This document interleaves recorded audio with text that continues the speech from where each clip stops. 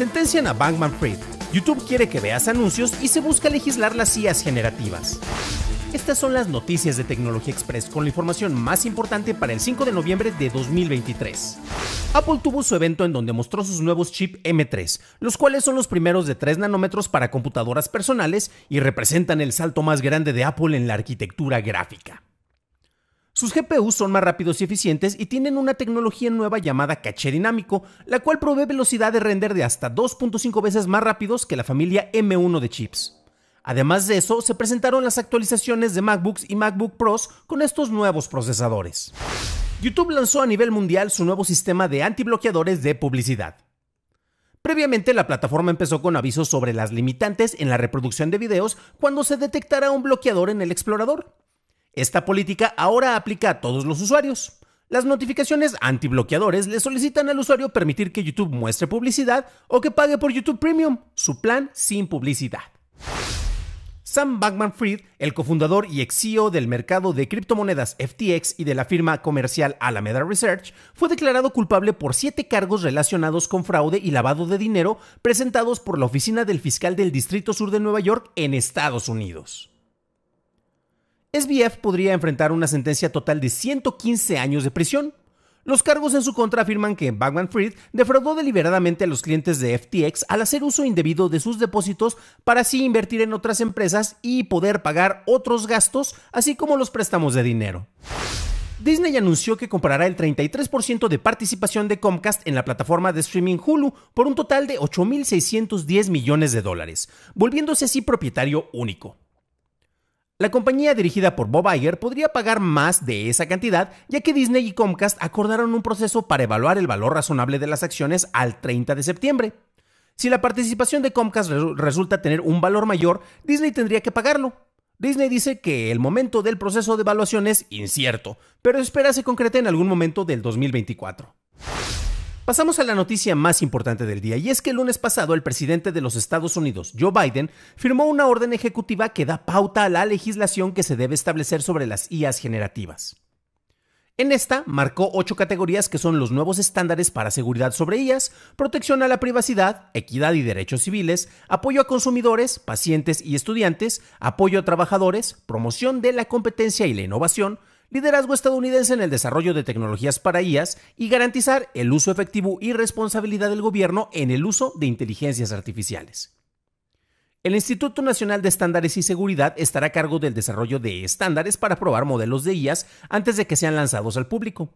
El Departamento de Energía y el de Seguridad Nacional buscarán mitigar los riesgos por el uso de IAS en el manejo de infraestructura, así como control de riesgos relacionados con ciberseguridad y en los sectores químicos, biológicos, radiológicos y nucleares. Relacionado a esto, se espera una reunión del G7 para revisar los códigos de conductas voluntarios y propuestos para la regulación de IAS.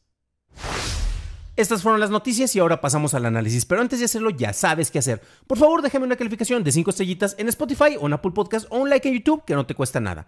Por cierto, hablando de YouTube, gracias a nuestros nuevos suscriptores como Adal Alvarado Rosas. Bienvenido a bordo, camarada. En el capítulo más reciente de No quiero que un robot me quite mi trabajo, el presidente de los Estados Unidos, Joe Biden, introdujo una orden ejecutiva buscando la regulación de las IAs generativas. Aquí hablamos en la, sección de noticias acerca de los ocho puntos eh, con los cuales se busca guiar la legislación relacionada en este tema para así evitar riesgos que se puedan presentar a los humildes seres de carne y hueso como la mayoría de nosotros. Ante los avances eh, mostrados en los años recientes y como grandes modelos de lenguaje presentaban brincos significativos entre cada generación de sus modelos, la preocupación e interés surgió en varios sectores.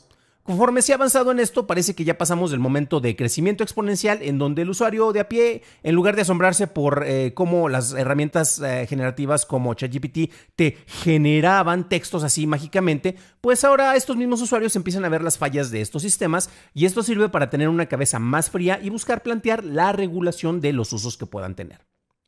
Cabe destacar que cualquier tecnología debe de pasar por procesos de revisión antes de ser lanzada a públicos masivos. En el caso de los grandes modelos de lenguaje, Google actuó muy precavido y fue hasta que la competencia por parte de OpenAI y Microsoft los hizo temblar que decidieron liberar varios de sus esfuerzos al público, como es el caso de Bard. Esto porque no es hasta que un número considerable de usuarios que tienen acceso a los modelos, es cuando entonces tú vas a poder ver que los usos reales, eh, cuáles son los que se le están dando, y estos pues no se pueden ver dentro de las pruebas de laboratorio.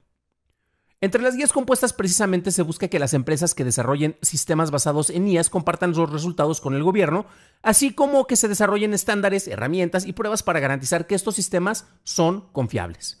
Esto es de particular interés sobre todo previo a las elecciones, en donde el público en general puede carecer de objetividad y busca creer algo que parezca medianamente convincente sin cuestionarlo ni analizarlo. Y vamos a hablar concretamente de algo que pasó aquí en México y fue esta semana pasada, bueno, en días recientes, en donde se hablaba precisamente de unos supuestos audios generados por inteligencia artificial, en donde Martí Bartres, el actual regente de la Ciudad de México, pues buscaba manipular el apoyo a los candidatos para regente de la Ciudad de México. Y pues bueno, ahí tenemos algunos casos y ya sabes cómo es. Este, no es que yo dice, es, es un audio de una llamada que supuestamente eh, se hace en estos comentarios y el de volada dijo, no, es que ese audio fue generado por inteligencia artificial.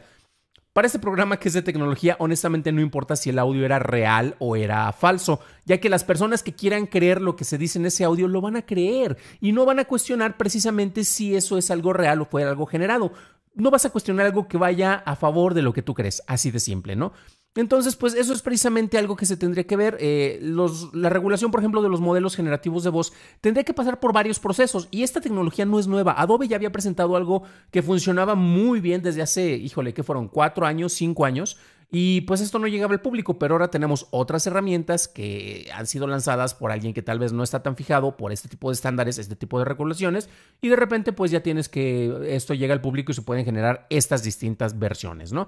Por eso digo que la regulación de modelos generativos de voz tendría que pasar por varios procesos, pero su implementación no podría impedir que alguien actuara fuera de la ley porque están buscando beneficios, en este caso beneficios políticos, y bueno, este caso nos sirve precisamente para revisar algunas de esas tangentes.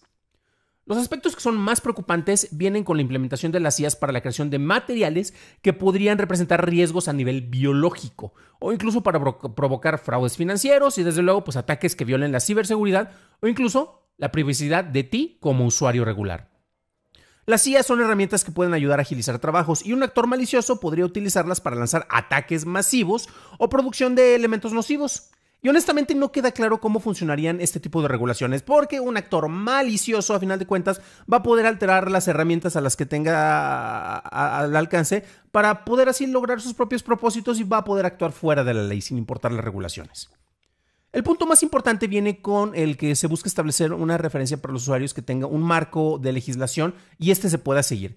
Y mira, si ahorita tenemos algunos casos triviales como lo que ocurrió por ahí en abril sobre el fake Drake, en el cual una, una, colaboración entre él y The Weeknd, que de hecho aquí la mencionamos en su momento, se lanzó al público y, ay, esto fue lanzado por inteligencia artificial, ay, entonces no fueron los cantantes, ay, Dios mío, pero gracias a eso vale la pena revisar lo que pasa con la regulación en el terreno musical, porque, ojo, lo que pasa ahí después se va a estar implementando en otros lados. Lo vimos con, el manejo, por ejemplo, de la, la cuasi muerte de los formatos físicos y el alza de los MP3 y las plataformas de streaming.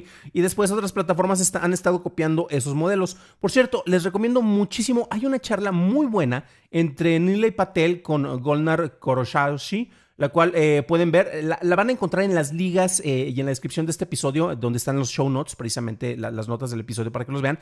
Y ahí hablan sobre las diferencias en los procesos creativos concretamente que vienen de, tecnologías generativas. Y no tiene pierde, la pueden revisar. Ah, si no hablan inglés, no se preocupen, la meten en Google Translator o un traductor automático y pueden ver, la pueden escuchar desde luego la charla, que es lo que yo recomiendo. Y algo de lo que menciona Golnar precisamente tiene que ver con las diferencias entre lo que se puede registrar y lo que se puede utilizar ya que cosas como los estilos, como hablábamos de los cantantes como The Weeknd, por ejemplo, eh, pues no lo puede registrar. O sea, alguien que tenga una voz parecida podría hacer canciones y The Weeknd no lo puede demandar. A menos que descaradamente trate de copiar e imitar el estilo y se haga pasar por esta figura. Y eso va a pasar también con lo que ocurre con los, los generadores de imágenes de audio, etcétera, ¿no? Y ahora bien, si bien los defensores de los modelos generativos pueden alegar que no hay diferencia entre cuando un humano busca aprender algo y luego crea obras derivadas, ay, es que yo tomé clases y mira, y gracias a eso aprendí y lo estoy haciendo y sí, ah, pues bueno, entre eso y hay una gran diferencia cuando se hace con el apoyo de una inteligencia artificial, en el cual hace copy-paste, hace un remix, una remezcla y te genera algo. Y tiene que ver precisamente con el propósito de estos aprendizajes, estos aprendizajes automatizados por parte de las máquinas para generar esto o un aprendizaje humano. Si tú aprendes pintura a limitar el estilo de un autor reconocido para mejorar la calidad de tu trabajo, eso es algo muy distinto a cuando buscas copiar y remezclar con el fin claro de lucrar con algo que no es conocimiento ni aprendizaje, sino ensayo y error, repetición de combinaciones de maneras muy rápidas y muy ágiles de algo creado por alguien más. Y es que aquí el autor original merece el reconocimiento tanto autoral como económico cuando su obra está siendo reutilizada para lucrar. Y eso es algo que se necesita legislar. Esperemos a tener noticias para ver cómo se avanza en los procesos legislativos para así tener guías concretas sobre usos permitidos y de esta manera podamos evitar el postapocalipsis anunciado en Terminator, en donde al final somos reemplazados por las máquinas, aunque éstas solo tenían propósitos generativos nobles que no fueran regulados y que estos no fueron regulados en su momento. Para una revisión más a detalle en inglés, visita dailytechnewshow.com en donde encontrarás notas y ligas de interés. Y si quieres revisar cuando algunas personas alegaban que las inteligencias artificiales habían cobrado conciencia, revisa nuestro episodio 140 en donde encontrarás más información. Eso es todo por hoy, gracias por tu atención y nos estaremos escuchando en el siguiente programa. Deseo que tengas un increíble inicio de semana.